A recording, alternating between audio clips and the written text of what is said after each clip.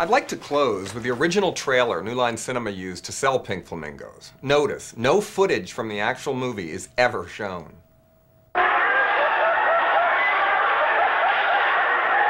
How did you happen to hear about it?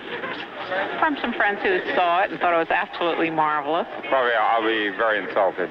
Rex Reed told us that it's uh, fabulous. Would you come out at midnight to see it? Why go home at midnight? What are you going to see there? People, Miss Sandstone. My kind of people and assholes. Fantastic. It's the third time I've been to it. It's an incredible head scene for people. Oh, it's marvelous. Absolutely. Disgusting thing I've ever seen in my whole life. Not to be believed. Absolutely outrageous. It was divine. Fabulous. Oh my God! What are you doing? What are you doing that? Mercy! Stop it!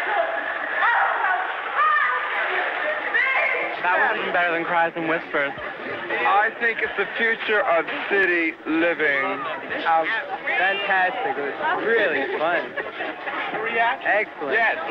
Loved it. Really good. Really good. Right? It was great. Piece of garbage.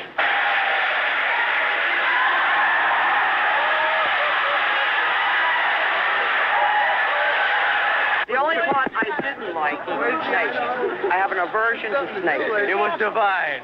I love religious movies. It's a little gross, but I liked it. Well, it was uh, really the grossest film I'd seen. I think John Waters has got his finger on the pulse of America. I think he's got his thumb securely up America's ass. I enjoy dirty things as much as everyone else does, but this isn't even dirty. It's just disgusting.